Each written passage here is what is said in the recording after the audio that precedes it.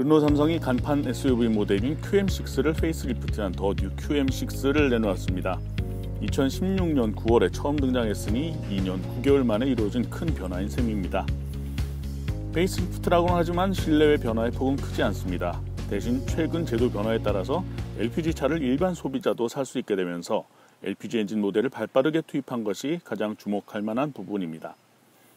국내 첫 LPG SUV는 아니지만 르노 삼성은 현재 국내 소비자가 살 수 있는 SUV 가운데 유일하게 LPG 모델을 선택할 수 있다는 점을 내세우고 있습니다. 오랜만에 경험하는 LPG SUV인 르노 삼성 QM6 LPE의 주행 감각은 어땠을까요? 자동차 칼럼니스트 나윤석 씨와 함께 시승하면서 차가 주는 느낌에 관해 가볍게 이야기를 나눠봤습니다. 저는 QM6를 사실 페이스리프트 전에 타본 적이 없어요. 잠깐도 타본 적이 없어서 비교하기는 조금 어려울 것 같고요. 아, 이 주행 질감은 확실히 업그레이드 됐네요. 네. 그 저는 그 전에 QM6를 타면서 어, SM6를 만들어서 살을 찌워서 QM6를 만드는데 늘어나는 원가를 감당하기 어려워서 원가 절감을 한 티가 곳곳에서 많이 난다. 네. 라는 느낌이 되게 아쉬웠었거든요. 네. 근데 그런 부분들이 이제 많이 잘 잡힌 것 같은 느낌이 있어요. 어, 이따가 청희 씨 운전하면서 한번 느껴봤으면 좋겠는 건데, 어, 좀 우회전 코너 같은 네. 그 정도 코너에서 언더스티어 양이 많지 않은지. 네. 이 차가 코너링이 되게 느슨했었어요. 네. 그래서 바닥은 가볍게 느껴지고 코너링은 느슨하고 네. 그래서 차가 되게 헐겁다라는 느낌이 음, 저한테는 되게 안 좋았던 느낌이었었어요. 네. 그래서 뭐 가성비나 이런 부분에서는 분명 틀림없이 좋은 부분이 있는 차임에도 불구하고 저는 이 차가 그렇게 정이 안 간다고 하죠. 그러니까 손이 맞 그냥 잘 가지 않는 차 중에 하나였어요. 네. 근데 지금 현재 조수석에 앉아서 어, 이 엉덩이 감촉은 어, 꽤 많이 좋아졌구나. 네. 그러니까 출발하기 전에 저희가 들었던 상품 설명에서도 서스펜션을 좀 조율을 했다라는 말씀을 하셨었죠. 네 맞아요. 그리고 지금 이 차가 10mm 낮췄다 그랬잖아요. 네. 10mm 낮췄다는 게 사실은 서스펜션 입장에서는 되게 큰 변화예요. 그렇죠. 그래서 그런 부분들이 어, 좀더 긍정적인 방향으로 작용하는 것 같아요. 처음 출발해서 네. 그 저희가 올림픽대로 타기 전에 잠깐 과속 방지턱이 많은 구간을 좀 지났었는데 네. 그때 과속 방지턱을 넘는 느낌 자체는 약간 좀 탄탄하면서도 음. 위아래 움직임을 잘 억제해 놓은 그런 느낌이 들었거든요. 그러니까 그게 이제 조여놨다는 느낌이죠. 네. 그러니까 전엔 되게 헐겁고 흐느적거리는 음, 거였는데 예. 되게 가볍고 네. 근데 이 차는 되게 묵직하면서도 좀 잘 잡아놓고 있다. 예, 예. 라는 느낌이 있어요. 그러면서도 바퀴 굴러가는 진동은 잘 안 들어오고. 예, 그렇습니다. 오히려 LPG인데 네. 엔진 진동이 더 들어와요. 예. 그래서 이거 조금 의아한 부분이 있어요. 그러니까 엑셀레이터를 밟았을 때 어떤 반응이라든가 조금 힘이 붙은 상태에서 속도를 높일 때 반응 같은 것들은 LPG 엔진 치고는 뭐 제법 음. 뭐 쓸만하다 그런 느낌은 그 들고요. 밀도감은 있어요. 예. 그러면 아까 그 저기 한강 그 고, 고수부지에서 나올 때 네. 그럴 때 이제 그 이면도로에서 가속을 할 때도 한 1800rpm 정도에서도 꾹 하고서 이렇게 미는 느낌이 네, 네. 어, 직결감도 괜찮구나 네. 뭐 자트코 변속기 워낙에 직결감은 괜찮으니까 네. 그런데 이 토크의 밀도감이 좀 있더라고요 네, 네. 그래가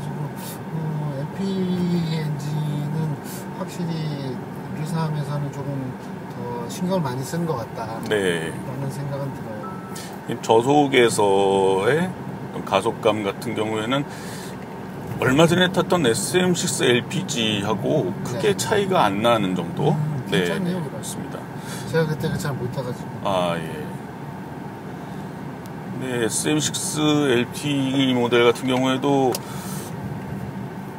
좀 느린 속도에서는 썩 나쁘지 않다는 느낌이 들었지만 속도가 어느 정도 붙고 나서는 이제 네. 가속이 좀 급격하게 둔해지는 그런 경향이 나타났거든요. 그러니까 그거는 가지고 있는 힘이 어차피 한계가 있으니까 네, 그 힘을 어디다가 쓸 거냐라는 것에 대해서 고민을 했다라고 네, 볼수 있겠네요. 네, 네. 자, 이 차가 가격이 대충 3천에서 좀 빠, 빠지는 것 같더라고요. 네, 그렇습니다. LP 모델이라서. 2,900만 원. 네, 2,900만 원대라고 하면은 현대 산타페에서는 네, 그러니까 중하위 트림 정도 그렇죠. 가격이에요. 네, 물론 그쪽이 이제 엔진이 더 고성능이고 네, 하지만 저는 저 2.0 터보 GDI 현대 엔진보다 이 엔진이 더 좋아요. 음. 지금까지는. 네, 왜냐면 그 엔진은 너무 저회전 영역에서 네, 힘도 그렇지만 직결감이 너무 떨어져서 네. 밟고 악셀을 놓으면 갈라 그래. 맞아요, 맞아요. 네, 아까 설명 듣기로는 SM6와 비교를 했을 때 40km 정도밖에는 무게 차이가 별로 네. 나지 않는다는 그런 설명을 들었는데 그 부분은 뭐 조금 의외인 측면도 있고 실제로 체감하는 성능에서도 SM6와 거의 지금 도심 구간에서는 네. 별로 차이가 없는 거를 느낄 수가 있네요. SM6보다가 라이드 퀄리티는 더 좋은 것 같아요. 예, 좀 제 생각에도 그렇습니다. 바닥에서 올라오는 진동도 적고 네, 훨씬 좋은 것 같은데 그렇다는 소리는 뭐냐면은 이- 아무래도 SUV를 tune을 하다 보면 서스펜션 스트로크가 늘잖아요. 그렇죠. 그 늘어난 서스펜션 스트로크를 잘 활용하고 있다는 뜻이고 네, 그러면서 또 좋은 거는 소음 원인 바닥부터 이 시트까지의 거리가 아무래도 늘어 있잖아요. 네, 그것도 이득이 되고 타이어도 지름이 커져 있기 때문에 네. 타이어 소음만 잘 안 일어나게 한다면 음, 휠하우스의 공진만 잘 해결할 수 있다면 네, 소음원에서는 더 어, 댐핑이나 필터링을 할 수 있는 여지는 더 있다라는 거 네, 잘 활용한 것 같고요. 이게 40kg밖에 차이가 없다는 소리는 기본적으로 기본 구조 설계는 똑같다는 소리거든요. 그렇죠.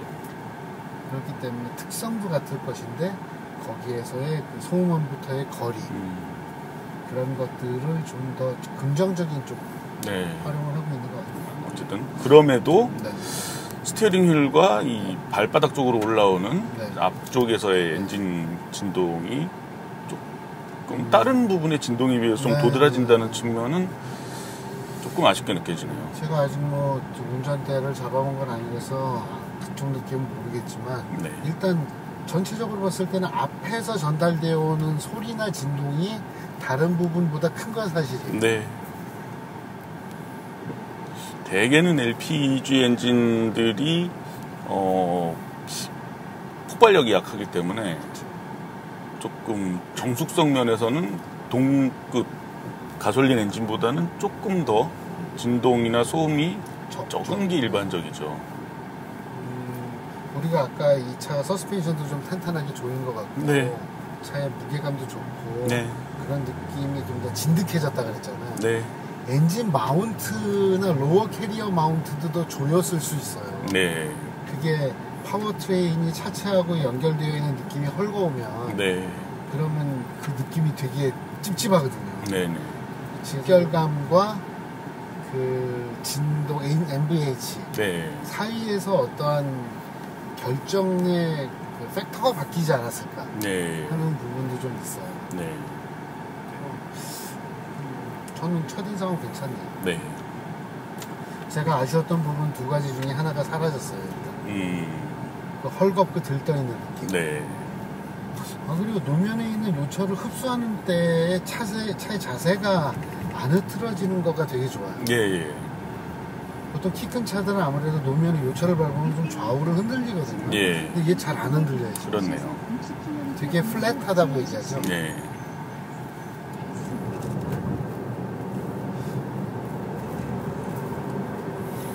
어쩔 수 없이 이게 무게 중심이 좀 둔하게 움직이는 그런 측- 측면은 있네요. 네, 롤이 있어요. 네, 그러니까 그 느낌은 전에도 있었던 느낌이에요. 네. 그러니까 저속에서는 잘 지금 도닥거려 놨는데 네, 속도가 오르고 코너링이 좀 타이트해지니까 네, 이게 SUV이고 그러면서도 아 이 차가 서스펜션이 그리 탄탄한 차는 아니구나. 네, 예. 그래서 롤이 오는 느낌이 있었어요. 네. 그런데 요거는 이제 지금 청희 씨한테는 물어보고 싶은 거고 제가 체크하고 싶은 건데 네. 앞바퀴가 그런데 느슨해지는 느낌이 있었냐 음, 그거예요 제 질문. 느슨해지는 느낌. 그러니까 앞바퀴가 땅을 꼭 잡고 도는 느낌보다 네. 만약에 조금 이렇게 부풀어 나간다거나 부풀어 나가는 느낌은 있지 않은데, 네. 어, 방금 같은 경우에는 이제 변속기 특성 때문에 네. 어, 변속기랑 엔진의 그 조합이 만들어낸 특성 때문에 어, 토크가 늦게 들어갔어요. 아, 그러다 보니까는 조금 더 밀리는 것 같은 그런 오케이. 느낌은 드- 들었는데 음, 밖에 느슨하다라고 얘기하기는 어려울 것 같네요. 아니다. 네. 알겠습니다. 왜냐면 제가 요 조수석에 앉아서 운전석 앞바퀴의 느낌을 느끼기는 쉽지 않은데 그렇죠. 네. 근데 전에 같으면 이럴 때 롤링 온 다음에 네. 앞바퀴가 쓱 밀리면서 롤이 풀려요. 음, 그러니까 자체적으로 없던 거로 해버리는 음, 원심력을 예, 예. 그런 식으로 하면서 시침 뚝 떠버리는 게 전 되게 싫었거든요. 예, 근데 아까는 우리가 오르막 코너링이었잖아요. 예, 그렇죠. 앞바퀴가 접지력을 더 잃기 좋은 상황인데 예, 그 상황 치고는 앞바퀴가 끈끈한 느낌이 좀 더 느껴졌어요. 예, 전에보다. 네, 그래서 아, 롤은 뭐 많이 여전하구나. 네, 하지만 그래도 이 앞바퀴가 노면을 잡으려고 애쓰는 느낌. 네, 좀 나아진 것 같다. 네, 그냥 그 정도의 네. 느낌이었습니다. 흐트러지지 않는 그런 느낌은 있습니다. 네, 역시 이 회전수가 올라가면서 네. 토크가 이제 충분히 붙어주지 않는다라는 네. 거. 그리고 CVT에서 그 감아주는 거를 좀 더 빠릿하게 잡아주기까지 네. 좀 시간이 걸린다라는 거. 처음에 앵겨도는 느낌이 있어야 예, 되는데 여전히 약간의 헛도는 느낌. 네. 그러니까 그런 CVT의 특성이 네. LPG 엔진의 그런 토크 변화가 이제 크지 않은 네, 그리고 토크 자체도 그렇게 크지 않은 특성하고 맞물리다 보니까 그렇죠. 조금 그런 특성이 나타나는 것 같습니다. 그러니까 그런 이야기가 나오는 시점이 네, 지금 한 시속 한 8, 90km 이상, 네, 한 100km 전후 네, 이때 이제 더 많이 나오거든요. 네, 그러니까 이 차가 어디에다가 focusing을 했는지가 잘 보이는 네, 것 같아요. 네. 아우 근데 차는 조용하다 진짜. 네. 지금 그 촬영 장비를 다느라고 아, 썬루프 썬루프에 들어놨어요? 네, 아, 스크린을 벗겨놓은 상태인데 그렇죠. 그럼에도 불구하고 네. 그럼에도 위쪽에서 이렇게 도는 소음 자체는 크지가 않습니다. 다만 콘크리트 도로를 지나가다 보니까 약간의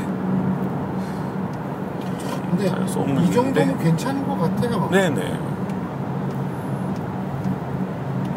마찰음 자체는 크지 않아요. 음.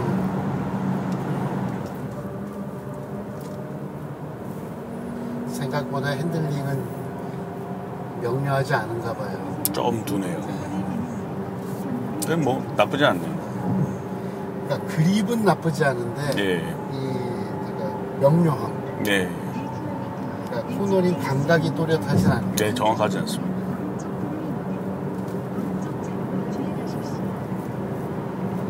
그러니까 그걸 어떻게 느낄 수 있었냐면요. 네, 차의 자세는 크게 변하지 않아요. 네, 네. 그런데 언더스티어가 조금씩 늘고 있었고 청희 씨가 그거를 계속 수정을 하더라고요. 네, 그래서 아 그냥 차는 나는 하라고 하고 있다. 네, 그런데 운전자하고의 교감이 크지 않을 뿐. 네, 오른쪽. 그러면 이런 차는 사실은 그냥 설렁설렁 타긴 되게 편한 차거든요. 네. 전반적으로 그냥 느긋하고 편한, 음, 예. 그러니까 이게 진짜 세단 느낌이잖아요. 예. 참, 뭐라 그럴까. 여러 가지 측면에서 좀 기존의 어떤 관념과는 조금 다른 측면을 많이 보여주는 네, 그런 차네요. 이게 정말 승용차를 대체하는 SUV의 감각이어야 하는 것 같아요. 네. 그러니까 왜냐하면 승용차 대신 SUV를 주류로 사는 사람들이 늘었다면 네. SUV가 승용차 같은 감각을 주- 주어야 된다는 뜻이거든요. 그렇죠. 그러니까 그 sports utility vehicle의 어떤 utility는 주되 네. 주행 감각은 승용차 같아야 된다라는 게 네. 가장 좋은 combination이잖아요. 네. 그런 면에서는 이거 되게 좋아요. 네. 일단 엉덩이가 간지럽지 않아서 좋아요. 네. 엉덩이는 아주 차분하게 잘 가고 있어요. 그러니까 이거 되게 좋다. 네. 이 닛산 엑스트레이를 시승하면서 느낀 것 하고 네. 비교를 해보면은 어, 이런 식의 서스펜션 세팅이다라고 하면은 오히려 출력이 높은 엔진이 어울리지 않을 것 같아요. 그쵸. 네. 맞아요. 그러니까 이 차는 디젤보다도 네. 그냥 가솔린에 네. 그 LPE가 난 것 같아요. 예. 출력이 좀 높은 엔진이 올라갔다고 하면은 운전하는 사람이 예를 들어서 조금 좀 적극적으로 운전하려고 하면은 되게 피곤한 느낌이 들 것 같아요. 흐느적거리기 시작하고 예. 이제 뭔가 붕 떠지고 네. 엇박자나기 시작하고 운전자가 생각을 하고 액션을 취해야 될 게 되게 그렇죠. 많아지는 그런 현상이 부닥거려야 될 게. 많아지는 예. 거죠. 이, 이 정도의 어떤 느긋한 가속감이라든가 반응이라든가 그런 것들을 생각을 해보면은 오히려 이렇게 조금 명, 명료하진 않지만 또 적당히 잡아주면서 좀, 좀 느슨하게 그러니까 이런 거 어떻게 받아주는. 보면 포근하다라고 네. 느껴질 수 있을 것 같아요. 그렇죠. 좋게 포장하면 이제 그렇게 네. 얘기할 수도 있을 것 같습니다. 그러니까 이제 그런 차를 원하는 고객층이 누굴까? 네, 사실 그거를 알아내는 게 중요한 거잖아요. 그렇죠. 모든 사람을 만족시킨 차는 없거든요, 세상에. 네, 어, 저는 오늘 이 차 되게 긍정적이에요. 네, 일단 발전한 게 보이고, 그리고 누구한테 팔면 괜찮겠다. 누가 좋아하겠구나라는 게 느껴져서. 네, 저는 그게 되게 좋아요. 네, 아, 요렇게 지금 이음매에서 네. 스카이훅 느낌 있잖아요. 그 느낌이 너무 좋아. 네. 출렁거리지 않고 싹, 탁 나긋하게 이렇게 네. 치고 가는 정말. 스트레스가 없네요. 네, 아, 너무 좋다. 이거. 차를 어떻게 대하고 운전하느냐 네. 그에 따라서는 평가가 좀 달라질 수 있는 그런 부분이긴 합니다. 또 아싸라게 가속하는 거 되게 좋아하시는 분들한테는 안 이제 쳐다보면 뭐. 예, 확 와닿지 않는 그런 그렇죠. 특성이기도 하고요. 그러니까 아마 저도 이따가 운전하면 다른 얘기 할지도 몰라요. 네, 성격이 안 맞아서. 예. 분명히 이제 steering 반응 같은 경우에도 이게 좀 약간 둔하고 느슨한 건 있는데 이렇게 막 이질감이 크게 느껴질 정도로 그러니까 크지 않아서. 돌리는 것 같진 않잖아요. 예, 그 center feel이 이럴 때는 좀 중요할 것 같아요. 예, 그러니까 center feel까지 느슨하면 정말 느슨하고. 예, 하여튼 주행 질감이 좋다는 게 제일 좋네요. 예. 음, 물론 그런 거 있어요. 그러니까 steering이 이제 아까 center feel 말씀하셨는데 프랑스 차 냄새는 나요. 그런데 좀 느슨해. 예, 탄력은 있지만 이게 아주 탄성 계수가 좀 적고. 예, 예. 아주 탱글탱글하진 않고 맞아요, 맞아, 맞아, 맞아. 둔하고 예, 그런 측면이 있어요. 맞아요, 맞아요. 아, 그게 QM6 처음 나왔을 때 두 번 시승을 해보고 예, 그때가 바로 그게 실망이었거든요. 음, 그게 뭐냐면은 아, 얘네들이 묵을 너무 마- 많이 썼나? 예, 무기에를 쓱탱 하고 돌아와야 되는데 이러는 느낌. 예.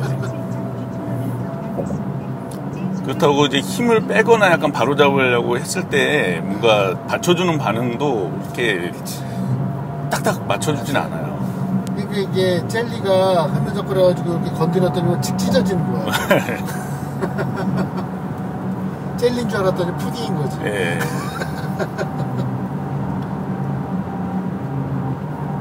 운전을 이따가 해보시면은 어 호불호가 갈라지는 영역이 있을 것 같아요. 그래요. 맞아요. 예,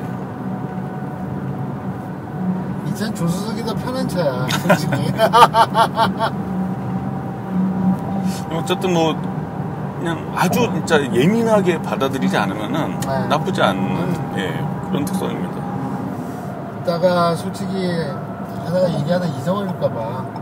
그런데 지금 이 인천대교가 바다에 콘크리트거든요. 예, 콘크리트인데 이렇게 매끈하게 가본 차 정말 오랜만이에요. 음, 위아래 움직임의 질감은 훌륭합니다. 아 진짜 아 그리고 이 타이어에서 올라오는 진동 같은 것도 네. 잘 잡아주는 것 같고 네, 일단 바닥에서 와글거리는 소리가 없어요. 예, 예, 소리 면에서는 아 진짜 좋아요. 차 풍절음도 별로 없어요. 그러네요. 심지어 사이드 미러의 크기도 제법 큰 편인데 말이죠. 그러니까 소음 방음 처리 측면에서는 소나타보다 낫네요. 훨씬 나. 예, 그리고 이런 국부적인 풍절음 있잖아요. 예. 그런 게 없어요. 예, 예. 그렇네요. 그 국부적 풍절음이 있는 거는 정말 그 사실 이거 품질 관리 되게 잘해야 되거든요. 예. 저희 펠리세이드 시승할 때 네. 이제 모서리 부분에서 나는 소음이 거슬린다고 계속 맞아. 얘기를 했었던 안장했잖아요. 예, 예. 그런 기억을 떠올려 보면은 최근에 소나타 시승할 때또 얘기 나왔던 부분이긴 한데 그런 소음은 QM6에서는 거의 없. 없어요. 예. 물론 이따 속도를 조금 더 올려봤으면 좋기는 하겠는데 네, 네. 일단 뭐 100km 정도 영역까지는 네. 자 지금 뭐 저희가 뭐 심하게 운전한 적이 한 번도 없긴 하지만 네. 인테리어에서 잡소리 없어요. 예. 그리고 확실히 이 조립 품질 같은 것도 되게 전에보단 좋아진 것 같아요. 예. 뭐 소재가 그렇게 좋다라고는 말 못하겠고 인포테인먼트는 좀 이제는 구형 냄새가 나요. 그러니까 이런 거는 조금 아쉽긴 한데 그래도 기본적으로 되게 잘 익어가고 있다라는 네. 느낌이 나서 아, 근데 진짜 차분하고 조용하고 그냥 편안한 느낌이 드네요. 그러니까. 너무 뻔한 얘기지만, 근데 그게 되게 뻔한 게 아니라 되게 중요한 거라니까. 예.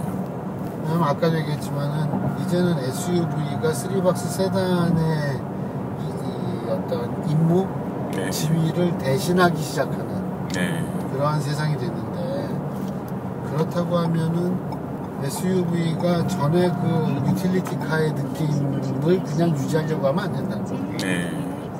그 세단이 주는 보편적인 느낌, 편안함, 안락함 이런 부분을 이제는 깔고 가야 된다는 게 음, 주류로 입장이 바뀐 SUV의 임무예요. 네.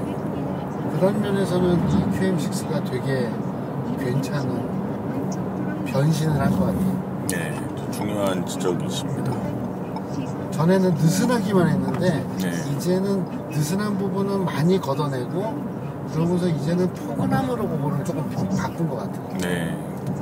물론 그렇지만 스포츠 쪽은 절대 아닙니다. 네. powertrain도 그렇고 샤시 느낌도 그렇고 하지만 세단을 대체하는 SUV는 어때야 한다라는 부분에 대한 고민은 아, 적지 않았구나 네. 그런 느낌이 있어서 되게 반갑고 기특합니다. 한편으로는 저도 좀 기특하다라고 이제 그런 생각이 드는 이유 중에 하나는 네. QM3 같은 경우에는 네. 어, 한국화를 하면서 좀 더 이상하게 변질이 된 것 같은 그런 느낌이 들었었거든요. 그거하고 비교하면은 어, 상당히 좀 반대 방향으로 좀 그러니까 조율이 된 게 아닌가. 네, 진짜 생각이 듭니다.